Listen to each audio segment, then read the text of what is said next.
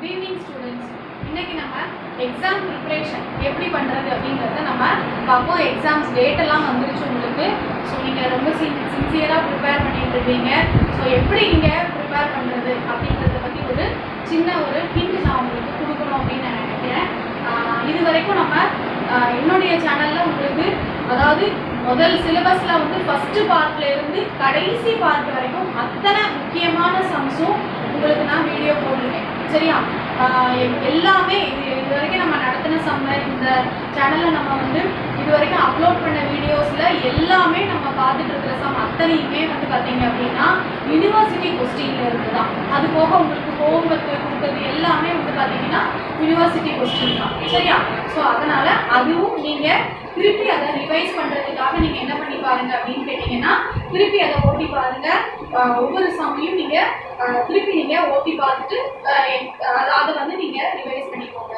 அது மட்டும் இல்லாமல் ஒவ்வொரு சமயம் நீங்க வந்து என்ன பண்ணி பார்க்கணும் அப்படின்னு கேட்டீங்கன்னா நீங்க ஒர்க் அவுட் பண்ணி பார்க்கணும். அப்படின்னா தான் உங்களால என்ன பண்ண முடியும்?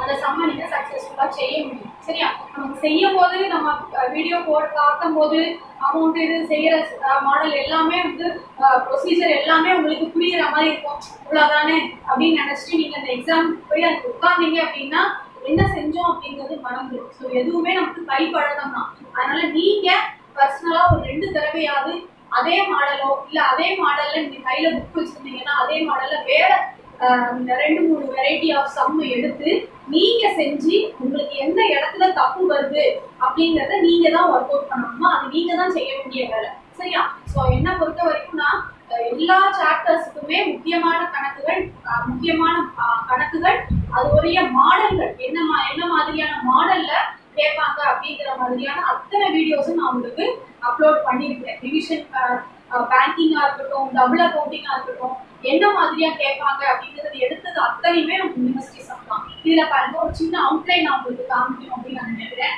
பார்ட் ஏ அதாவது நீங்க ஒன் வேர்ட் ஆன்சர் பண்ணக்கூடிய கொஸ்டின்ஸ் இது வந்து ஒரு யூனிட்ல மொத்தம் உங்களுக்கு அஞ்சு யூனிட்டுமா எழுபத்தஞ்சு மார்க்குக்கு நீங்க எழுத போறீங்க. இதுல எந்த கன்ஃபியூஷனுமே வேண்டாம் சரியா? எழுபத்தஞ்சு மார்க்குக்கு you are writing your test அப்ப இருபது அதாவது ரெண்டு ஒன் வேர்டு ஒரு யூனிட்ல இருந்து கேட்பாங்க. சரியா முதல் யூனிட் வந்து உங்களுக்கு லிக்விடேட்டர் ஃபைனல் ஸ்டேட்மெண்ட் இல்லையா? ஸோ அதுல இருந்து ஆரம்பிச்சு ஹெச்ஆர்ஏ வரைக்கும் உள்ள முதல்ல அதுக்கு வந்து நீங்க வேணா ஒரு மூணு நாலு வருஷத்துல அந்த யூனிவர்சிட்டி கொஸ்டின்ஸ் அந்த கொஸ்டின் பேப்பர்ஸ் நீங்க ரெஃபர் பண்ணீங்க. ஏற்கனவே கிளாஸ் கிளாஸ் ரூம் இதுல வந்து நாங்க அப்லோட் பண்ணி விட்டுருக்கேன். ஒரு ஸ்டூடெண்ட் அப்லோட் பண்ணி விட்டுருப்பாங்க. அதை நீங்க பாருங்க. அதுல பார்த்து அதுல உள்ள பத்து பத்து முப்பது நாற்பது ஒன் நீங்க எடுத்து நீங்க அதை படிச்சாலே போதும். சரியா? ஸோ ஒன் வேர்டுக்கு வந்து ரெண்டு one word part B part பில வந்து அஞ்சு மார்க் கொஸ்டின் நீங்க ஆன்சர் பண்ணுவீங்க. அஞ்சு மார்க் கொஸ்டின் வந்து அஞ்சு கேட்பாங்க இல்லையா? Five into five five so அஞ்சு மார்க் கொஸ்டின் நீங்க பார்ட் பில ஆன்சர் பண்ணுவீங்க. ஸோ இதுக்கு வந்து பாத்தீங்கன்னா liquidate of final statement theory கேட்கறதுக்கான வாய்ப்பு அதிகம் இருக்கு இன்னொரு விஷயம் நான் சொல்றேன். சம்மு மட்டும் பார்த்துட்டு தியரி வந்தா ஸ்கிப் பண்ணிட்டு போறது அப்படிங்கிற அந்த ஒரு இது வந்து நிறைய பேர்கிட்ட அந்த இதை நான் பாக்குறேன். ஸோ கார்பரேட் அக்கௌண்டிங்க பொறுத்த வரைக்கும் தியரியை வந்து இந்த ஸ்கிப் பண்ணவே பண்ணாதீங்க. ஏன்னா தியரி இல்லாம நம்மளால என்ன பண்ண முடியாது அப்படின்னு அந்த பேப்பரை கிராஸ் பண்ணி சக்சஸ்ஃபுல்லா மார்க் எடுத்து வெளியே போக முடியாது. பாஸ் ஆயிடலாம். பாஸ் ஆகிறது யார் வேணா ஆகலாம். இல்லையா? ஸோ நமக்கு வேண்டியது நல்ல மார்க்கு ஹையஸ்ட் மார்க் நல்ல ரேங்க் வரணும் அப்படின்னு நினைக்கக்கூடிய ஸ்டூடெண்ட்ஸ் அப்புறம் வந்து எல்லாருமே வந்து என்ன பண்ணணும் அப்படின்னு கேட்டீங்கன்னா தியரி பார்ட்ஸ் வந்து முக்கியத்துவம் கொடுங்க அதிக முக்கியத்துவம் கொடுங்க. ஏன்னா தியரி வந்து நார்மலா பார்டர்ல பாஸ் ஆகக்கூடிய ஸ்டூடெண்ட்ஸ்க்கெல்லாம் வந்து தியரி தான் தூக்கி வரும் சரியா? ஸோ அதனால லிக்விடேட்டர் ஃபைனல் ஸ்டேட்மெண்ட் தியரி நான் உங்களுக்கு தியரி கொஸ்டின்ஸ் இதுக்கு முன்னாடி நான் உங்களுக்கு இதே மாதிரி தியரி ஒரு பத்து பதினோரு தியரி கொஸ்டின் நான் உங்களுக்கு எழுதி போஸ்ட் பண்ணிட்டு இருக்கேன் கிளாஸ் ரூம் ஆப்ல சரியா? லிக்விடேட்டர்னா யாரு? கான்ட்ரிபியூட்டரினா யாரு? What are the steps to prepare liquidator final statement இதெல்லாம் முக்கியமா கேட்கக்கூடிய தியரிகள் இந்த அஞ்சு மார்க்ல சரியா? அதுக்கு சாய்ஸ் என்ன கேட்பாங்க அப்படின்னு பாத்தீங்கன்னா அதே லிக்விடேட்டர் ஃபைனல் ஸ்டேட்மெண்ட் சிம்பிளான கணக்குகள் பேலன்ஸ் ஷீட் இல்லாம சிம்பிளான கணக்குகள் வந்து அஞ்சு மார்க்ல கேட்கக்கூடிய வாய்ப்பு இருக்கு. ஸோ அந்த மாதிரி கணக்குகள் நீங்க என்ன செஞ்சுக்கோங்க அப்படின்னா ஒர்க் அவுட் பண்ணி பார்த்துக்கோங்க. தியரி சாய்ஸ் வந்து சம்ம. அல்லாட்டி ரெண்டுமே சம்மா கேட்டா கூட என்ன செய்ய முடியாது. நமக்கு எக்ஸ்பெக்ட் பண்ண முடியாது. இதுதான் கேட்பாங்க அப்படின்னு சொல்ல முடியாது. எது கேட்டாலும் நம்ம ஆன்சர் பண்ற மாதிரியான மனநிலைமையில நீங்க போங்க. சரியா? ரெண்டுமே தியரி கூட கேட்கலாம். புரிஸ் is what are the steps to prepare prepare liquidator final statement அப்படின்னு கேட்டா கூட வாய்ப்பு இருக்கு. சரியா? ஸோ இதுல முக்கியமான தியரிகள் அத்தனையுமே நீங்க படிங்க. Liquidator ஃபைனல் ஸ்டேட்மெண்ட் சின்ன ப்ராப்ளம்ல இருந்து அட்வான்ஸ்டு ப்ராப்ளம் வரைக்கும் செஞ்சு பாருங்க. பேலன்ஸ் ஷீட் வச்சு கேட்கக்கூடிய கணக்குகள் எட்டு மார்க்குக்கு கேட்பாங்க. சும்மா பர்டிகுலர்ஸ் மட்டும் கேட்டு ஒரு லிக்விடேட்டர் ஃபைனல் ஸ்டேட்மெண்ட் சிம்பிளா போடக்கூடிய கணக்குகள் நான் உங்களுக்கு வீடியோ அப்லோட் பண்ணிருக்கேன் லிக்விடேட்டர் ஃபைனல் ஸ்டேட்மெண்ட்லயே ரெண்டு மூணு கணக்கு நான் உங்களுக்கு அப்லோட் பண்ணியிருக்கேன். செஞ்சு பாருங்க. சரியா? அடுத்தது பாத்தீங்கன்னா பேங்கிங் இதுல நீங்க முக்கியமா தலைகீழ் பாடமா படிக்க வேண்டியது பேங்கிங் பொறுத்த வரைக்கும். பேங்கிங்குடைய profit and loss account and balance sheet with schedule numbers schedule number ஷெடியூலுடைய heading தலைகீழ் படமா இதை படிச்சிருவாங்க. ஏன்னா ஃபார்மெட்டு கட்டாயமா அஞ்சு மார்க்லயோ எட்டு மார்க்லயோ தொடர்ந்து கேட்டுக்கிட்டே வராங்க. சரியா? சோ அந்த ஃபார்மெட்டை நீங்க கரெக்டா எழுதுற பட்சத்துல கரெக்டான ஃபார்மெட்ல எழுதுற பட்சத்துல உங்களுக்கு ஃபுல் மார்க் கிடைக்கிறதுக்கான வாய்ப்பு இருக்கு. இதுக்கு சாய்ஸ் என்னது அப்படின்னு பாத்தீங்க அப்படின்னா ரிபேட் ரிபேட்ல இருந்து உங்களுக்கு அஞ்சு மார்க்குக்கு சம்ஸ் வர்றதுக்கான வாய்ப்பு இருக்கு. ரெண்டாவது அதுக்கும் அல்லது ரிபேட் ஆன் டிஸ்கஸ் அதுவும் இல்லாட்டி அந்த ப்ராஃபிட் அண்ட் லாஸ் வச்சே சிம்பிள் ப்ராப்ளம்ஸ் கேட்டிருக்காங்க. இதுக்கு முன்னாடியே கேட்டிருக்காங்க. ஒரு பத்து பர்டிகுலர்ஸ் கொடுத்து இதுக்கு நீங்க profit and loss account prepare பண்ணுங்க அப்படின்னு சொல்லிடுவாங்க. ஸோ நீங்க ப்ராஃபிட் அண்ட் லாஸ் அக்கௌண்ட் மட்டும் ப்ரிப்பேர் பண்ணுவீங்க. ஸோ இந்த மாதிரியான ப்ராப்ளம் ஸோ பேங்கிங் யூனிட்டை பொறுத்த வரைக்கும் அஞ்சு மார்க்கு வெயிட்டர் ஃபார்மெட் தியரியா இருக்கலாம் அல்லது what is mean by rebate on bills டிஸ்கவுண்ட்னு ஒரு கொஸ்டின்ஸ் இருக்கு. ஸோ அதையுமே நீங்க என்ன செஞ்சுக்கோங்க படிச்சுக்கோங்க. அதுக்கப்புறம் ரிபேட்ல சம்மு அதுவும் இல்லாட்டி என்னது? இந்த சிம்பிள் ப்ராப்ளம்ஸ் சரியா? Simple problems profit and loss வச்சு செய்யக்கூடிய சிம்பிள் ப்ராப்ளம்ஸ் அஞ்சு மார்க்கு கேட்பாங்க. சரியா? ஸோ அதுக்கும் நான் வீடியோ போட்டிருக்கிறேன். ப்ராஃபிட் அண்ட் லாஸ் மட்டும் வச்சு செய்யக்கூடிய கணக்கு பேலன்ஸ் ஷீட் மட்டும் வச்சு செய்யக்கூடிய கணக்கு நான் வீடியோ போட்டிருக்கேன் அதே மாதிரி மாடல்ல வேற ஒரு சம் எடுத்து ஒர்க் அவுட் பண்ணி பாருங்க மூணாவது டபுள் அக்கௌண்டிங் டபுள் அக்கௌண்டிங்கை பொறுத்த வரைக்கும் clearing is very very important difference between single accounting and double அக்கௌண்டிங்ல இருந்து கட்டாயமா கெட்டே வராங்க. Format of revenue net revenue capital account and balance sheet so இதுக்கான ஃபார்மட்டையும் படிச்சு வச்சுக்கோங்க. இதுக்கான சாய்ஸ் வந்து பாத்தீங்க அப்படின்னா கட்டாயமா ரீப்ளேஸ்மெண்ட் காஸ்டிங் வந்து கட்டாயமா ஒரு சம் வருமா? அது அஞ்சு மார்க் நீங்க எக்ஸ்பெக்ட் பண்ணாலும் சரி. சில சமயங்கள் அது எட்டு மார்க்லயுமே கேட்டிருக்காங்க ஸோ ரீப்ளேஸ்மெண்ட் காஸ்டிங்ல இருந்து கட்டாயமா ஒரு சம் வரும். அல்லது ரெவென்யூ அக்கௌண்ட்டையே சிம்பிளா என்ன செய்வாங்க? ஒரு நாலஞ்சு பர்டிகுலர்ஸ் கொடுத்து ரெவென்யூ அக்கௌண்ட் ப்ரிப்பேர் பண்ண சொல்லுவாங்க. ஸோ இது வந்து அஞ்சு மார்க்ல நீங்க எக்ஸ்பெக்ட் பண்ணலாம். டபுள் அக்கௌண்டிங் பொறுத்த வரைக்கும் தியரி அல்லது சின்ன சின்ன ப்ராப்ளம்ஸ் அல்லது ரீப்ளேஸ்மெண்ட் காஸ்டிங்ல இருந்து கணக்குகள் வரதுக்கு அதிக வாய்ப்பு இருக்கு. அதுக்கப்புறம் பாருங்க ஹோல்டிங் கம்பெனி ஹோல்டிங் கம்பெனிக்கு சாய்ஸ் ஹோல்டிங் கம்பெனி தான். வேற இதே கிடையாது. வேற ஆப்ஷனே கிடையாது உங்களுக்கு. நாலு யூனிட்டுமே அப்படிதான் அஞ்சு யூனிட்டுமே வந்து அந்த சாப்டருக்கு சாய்ஸ் அதே சாப்டர்ல இருந்து தான் சம் சரியா சோ ஹோல்டிங் கம்பெனியை பொறுத்த வரைக்கும் தியரி ரொம்ப முக்கியம். What is mean by holding company what is mean by subsidiary company what are the steps to prepare the consolidated balance sheet அப்படிங்கிறது ரொம்ப ரொம்ப முக்கியமான கேள்வி. இதை படிக்காம பரீட்சைக்கு போயிடாதீங்க தயவு செய்து சரியா so what are the steps to prepare the consolidated balance ஷீட்ங்கிறது முக்கியமான தியரி கொஸ்டின் இதை படிக்காம நீங்க பரீட்சைக்கே போக வேண்டாம். சரியா? அதனால அதை படிச்சுக்கோங்க.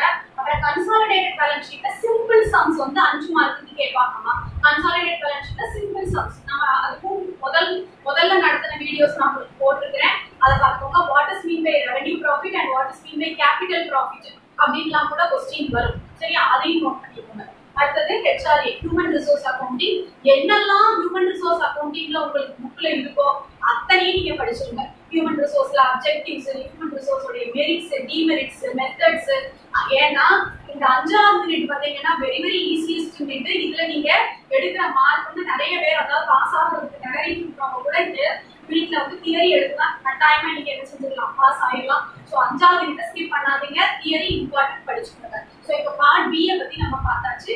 பார்ட் சிக்கு வாங்க. பார்ட் சில வந்து என்ன மாதிரி கேட்பாங்க அதே லிக்விடேட் ஆஃப் ஃபைனல் ஸ்டேட்மெண்ட்ல இருந்து ஒரு கணக்கு எய்தர் ஆர் சாய்ஸ் அப்படிங்கறத நம்ம பார்க்குறோம். So five into eight forty சரியா? ஸோ அப்போ பாருங்க எட்டு மார்க் கணக்கு. இதுல வந்து பேலன்ஸ் ஷீட் வச்சு போடக்கூடிய லிக்விடேட்டர் கணக்கு வந்து எதுல இருந்து கொடுக்குறாங்க? உங்களுக்கு இந்த லிக்விடேட்டர் ஃபைனல் ஸ்டேட்மெண்ட்ல பேலன்ஸ் ஷீட் வச்சு நீங்க செய்யக்கூடிய அட்வான்ஸ்டு சம்ஸ் வந்து எட்டு மார்க் கேட்பாங்க அதுக்கு சாய்ஸ் லிக்விடேட்டர் ஃபைனல் ஸ்டேட்மெண்ட் தான். அதெல்லாம் ரெண்டு கணக்குமே கொஞ்சம் டைம் எடுத்து போடக்கூடிய கணக்கா இருக்கும். அதுக்கு நான் உங்களுக்கு வீடியோவும் அப்லோட் பண்ணி விட்டுருக்கேன். ப்ரீவியஸ் வீடியோல இருக்கும். Liquidator statement part one part two part த்ரீன்னு போட்டிருப்பேன். அதை கொஞ்சம் பொறுமையா எடுத்து பாருங்க. அதே மாதிரி மாடல் உள்ள கணக்கு செஞ்சு பாருங்க. அப்புறம் இது. பேங்கிங்ல ப்ராஃபிட் அண்ட் லாஸ் மட்டும் கேட்கலாம். அல்லது பேலன்ஸ் ஷீட் மட்டும் கேட்கலாம். ரெண்டும் செய்யற மாதிரி கணக்குகளும் கேட்டிருக்காங்க. ஸோ அதையுமே நீங்க பாருங்க. சரியா? ஸோ ஒண்ணு ப்ராஃபிட் அண்ட் லாஸ் அல்லது பேலன்ஸ் ஷீட் இல்ல ஒரே கணக்குல பர்டிகுலர்ஸ் கொடுத்து ப்ராஃபிட் அண்ட் லாஸும் பேலன்ஸ் ஷீட்டும் செய்ய சொல்லக்கூடிய கணக்கு உங்களுக்கு இருக்கு நீங்க அந்த மாதிரி டைம் எடுக்கக்கூடிய கணக்கு அப்படிங்கும் போது நீங்க அதுக்கான சாய்ஸ் பாருங்க. அந்த சாய்ஸ் ஈஸியா இருந்தது. அது வந்து ரிபேட் அப்படின்னு இருந்ததுன்னா தாராளமா அந்த சாய்ஸை நீங்க எடுத்துக்கோங்க. ஏன்னா குறிப்பிட்ட டைமுக்குள்ள ஃபினிஷ் பண்ண முடியாததா கூட சில கணக்குகள் இருக்கும். ஒரு கொஸ்டின் பேப்பர்ல அப்படி கேட்டுக்கவும் கேட்டிருக்காங்க அதாவது ப்ராஃபிட் அண்ட் லாஸும் பேலன்ஸ் ஷீட்டும் சேர்ந்து ஒரு கணக்குல கேட்டிருக்காங்க ஸோ அதனால நீங்க பாருங்க எதுவாக இருந்தாலும் பேங்கிங்ல நீங்க செய்யறதுக்கு முன்னாடி ஷெடியூல்ஸை முதல்ல மார்க் பண்ணிட்டு அதுக்கப்புறம் நீங்க கணக்கு செய்ய ஆரம்பிச்சீங்க அப்படின்னா உங்களுக்கு ஈஸியா இருக்கும். கொஸ்டின் பேப்பரை பார்த்த உடனே அப்படியே கை காலெல்லாம் விளவளத்து உடனே செய்ய ஆரம்பிச்சிடாதீங்க. சரியா? கொஞ்சம் ஒரு அஞ்சு நிமிஷத்துல இருந்து பத்து நிமிஷம் அந்த கொஸ்டின்ஸை ரீட் பண்றதுக்கு நீங்க டைம் எடுத்துக்கோங்க. அதுக்கப்புறம் உங்களுக்கு அந்த சம்ம சக்சஸ்ஃபுல்லா செய்ய முடியும். ஸோ ரெண்டுமே ப்ராஃபிட் அண்ட் லாஸ் அல்லது பேலன்ஸ் ஷீட் போட்ட கணக்குகள் தான்.